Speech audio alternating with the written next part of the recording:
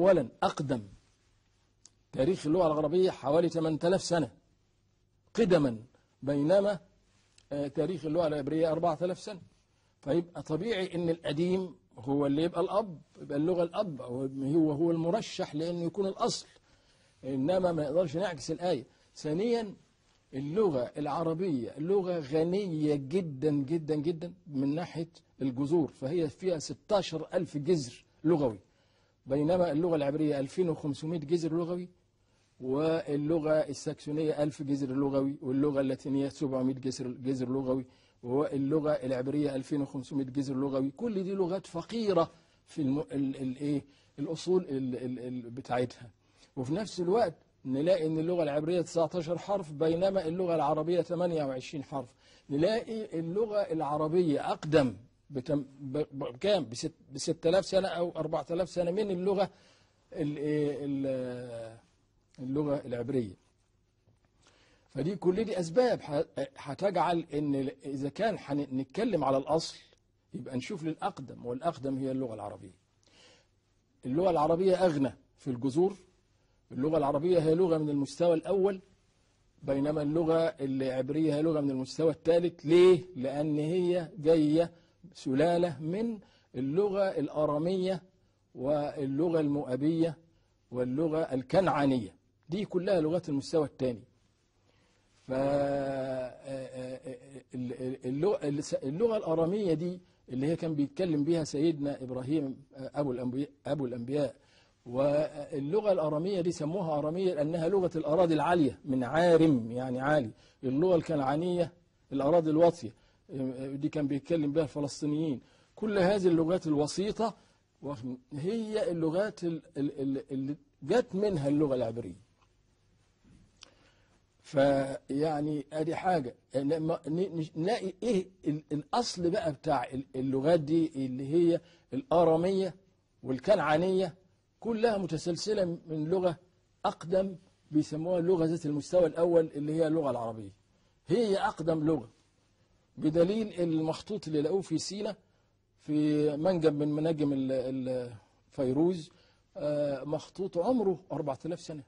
أقدم مخطوط في العالم مكتوب بلغة هو هذا المخطوط فهي العربية أقدم اللغات وأكمل اللغات. ليه بقى؟ مش بس حكاية إن هي غنية في الجذور 16 ألف جذر لغوي لا اللغة العربية آه، غنية في في ال ال الكلمات. في المفردات. يعني مثلا الأسد.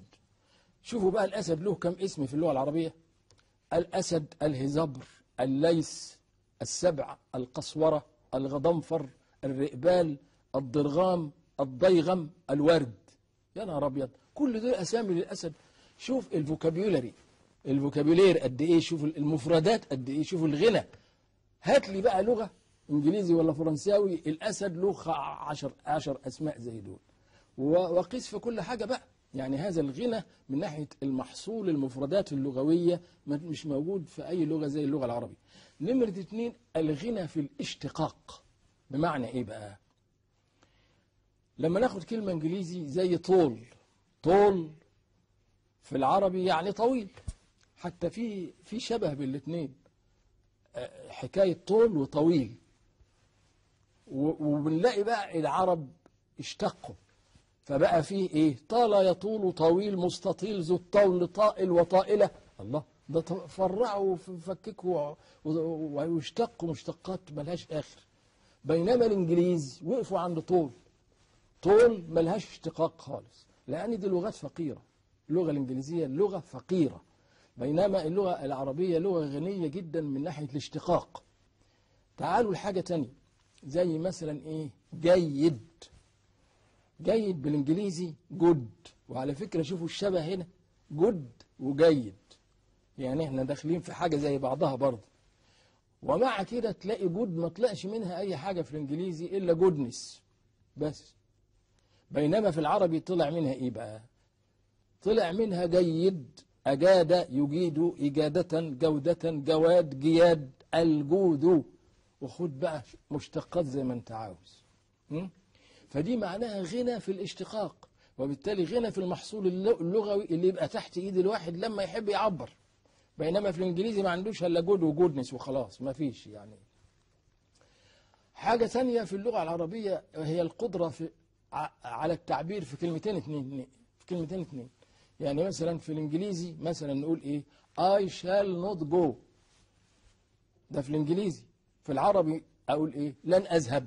بس كلمتين قد كده. عشان أعبر على كلمة لن أذهب دي بالإنجليزي. اعوز عك طويل. I shall not go. شغلانة. أجي بقى في العربي أقول لن أذهب. وتدينا المعنى باختصار وبفصاحة. دي برضو آه، عنصر قوة في اللغة.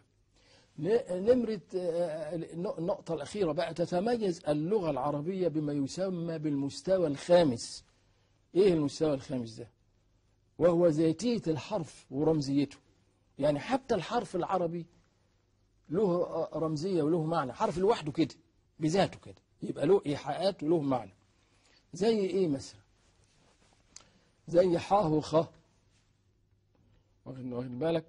يعني إيه؟ ال ال الطفل قبل ما يتعلم أي حاجة لما مجرد حاجة سخنة كده حط إيده عليه أح على طول. أكن كلمة ح بقت لها معنى وهي الحرارة.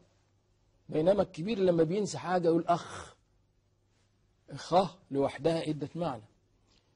آه كلمة ح اللي هو استعملها الطفل كتعبير عن السخونة اتضح إن فعلا الحاه دي بتخش في كلمات كلها تعني الحرارة. زي إيه بقى؟ زي مثلا حمى. حمى حرارة حريق حميم حنظل حريف. كل دي حاجات تعني الحرارة. حمى حرارة حريق حميم. كل الحاء عمال يخش في التكوينات اللي جمل آه، كلمات تعبر عن الحرارة. يبقى إذن الحرف العربي في ذاته له رمزية وله إيحاءات. وحتى في الناس البلدي في الشارع في الشارع. لما آه، يقولوا الواحد يقولوا انت حاه يعني انت حمار بدل ما يعني يلخصوا العملية كلها يقولوا انت حاه لأن تعودنا على إن ال- ال- ال- الحرف له له رمزية وله إيحاءات. الحرف يكفي إنما طبعا في ال- الإنجليزي والفرنساوي الحرف ما ينفعش لازم يبقى فيه جملة ولازم يبقى فيه كلمة. وبعدين أنت تستعجب إن الكلمات المقطعة في القرآن كلها ما جاش فيها حرف خ جه حاميم مثلا؟ لكن ما جاش خاميم. ما فيش خ خالص في الحروف المقطعة. وعشان كده بيقول لك ال 14 حرف المقطعة في القرآن بيسموهم الحروف النورانية. يبقى ال- الخاء دي دخلت في المجموعة التانية إلا هي الحروف الظلمانية اللي فيها ظلمة? وفعلا الخاء دي بتخش في حاجات كلها سيئة. لما أقول أخ يعني نسيت والنسيان ده حاجة وحشة. مثلا خ- خاء دي تخش إيه في الخردة. خردة خرقة خراء خسة خزي خم. أنت بتخمني خجل خيانة خلاعة خذلان خنزير خنفس. كلها حاجات مش كويس مش حلو. فالخاء تخش أكن أكن الحرف في العربي له رمزية وله ذاتية وهو بذاته يعني حاجة. دي حاجة تخ... تخ... ما نلاقيهاش إلا في اللغة العربية. فاللغة العربية أحد المعجزات من بالنسبة للغات وهي جديرة بأن تكون اللغة الأم وإنه يبقى الكل طالع منها. لكن طبعا ما حدش من العلماء عاوز يقول دي ابدا. دول كلهم بيخبوا الحكاية دي. حقد طبعا مع- معروف على على الإسلام ويمكن إحنا دلوقتي بنتكلم الكلام ده كله والأنابل نازلة زي زي المطر على البوسنة آه، شعب البوسنه الأعزل وكل دول أوروبا عاملين رباطية ومانعين إن هؤلاء الضحايا البوسنويين يبقى لهم حق التسلح إنهم يدافعوا عن نفسهم. فشوفوا الحقد قد إيه. واللي بيحصل بوس في البوسنة بيحصل في الشيشان.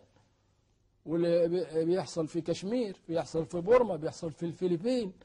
ف يعني في حقد موجود على الإسلام. وبيخبوا حقائق. فاللغة العربية بس مش لدرجة بقى إنه توصل الفجر إنه يقول لك اللغة العبرية أصل أصل اللغات عبرية مين؟ ده كل تاريخ العبرية كله من 1200 سنة قبل الميلاد. ما تنفعش. دي لغة سلالة. ولغة ضعيفة وفقيرة ومن المستوى الثالث ولغة ناقصة. ولغة كل جذورها 2500 جذر ومش ممكن تقدر تعبر عن الجملة زي الجمل القرآنية اللي إحنا بنقراها. وعشان كده دي الحكمة فإن ربنا استعمل اللغة العربية كوعاء للكلمة الإلهية. القرآنا غير ذي, ذي عوج. قرآنا عربيا. قرآنا قال إيه؟ قرآنا عربيا. غير ذي عوج لأن هذه اللغة هي اللغة الوحيدة اللي هتنفع لأنها غير ذي عوج هذه اللغة دي كمان. عشان لما يكون أنا عندي مع معنى غير ذي عوج لازم أحطه في لغة غير ذي غير ذي عوج غير ذات عوج. فهي الكمالات كمالات اللغة هي اللي جعلت ربنا سبحانه وتعالى يختار هذه اللغة وعاء لكلماته لكن مين يقول كده؟ إحنا للأسف أعدائنا كتير وإحنا ضعاف. بس مش لدرجة إنهم يرشحوا بقى العبرية إنها تبقى أم اللغات أم إيه؟ سيناء العلماء التقليديين بقى عشان يتجنبوا المشكلة بالكلية قالوا إن في 5000 لغة في العالم منها 2000 في أمريكا وقسموها إلى ثلاث مجموعات مجموعة اسمها Indo-European ودي تشمل الإنجليزي وفرنساوي إيطالي ألماني لاتيني يوناني سانسكريتي والمجموعة الثانية Afro-Asiatic قالوا إنها طالعة من لغات اسمها لغات البانتو ومجموعة ثالثة اسمها الأمريكان اللي طالعة من لغات الإسكيمو ولغات الأميرين. وبعدين جم لموا كل المجموعات دي وقالوا الثلاث مجموعات طالعين من Proto-Nostratic language اللي هي خرجت من أصل أفريقي وإن أفريقيا هي منزل أول إنسان وإن هي أصل جميع السلال السلالات وإن أفريقيا أفريقيا لابد أن تكون أصل جميع اللغات. لكن حد جاب سيرة العربي؟ لا ما فيش. ما العربي هذه الحكاية كلها. لكن مش ممكن حقيقه هتستخبى وبعدين يا جماعة الحق مضطهد. دي مش أول مرة. في التاريخ كله دايما تلاقي الباطل يعلى والحق يضطهد. لغاية ما يجي وقت تبان المسائل. ومب- ما ما ظهرتش في الدنيا تظهر في الآخرة. أما ربنا بيعمل آخرة ليه؟ بيعمل آخرة ليه؟ بيعمل حساب ليه؟ عشان إظهار الحقائق عشان استعلان العدل. لأن الدنيا ما فيهاش عدل. للأسف ما فيهاش عدل. وإلى حلقة قادمة إن شاء الله. والسلام عليكم. كمسلم لأنني إنسان. حين أكون مسلم فأنا إنسان. صاحب ضمير وصاحب عقل.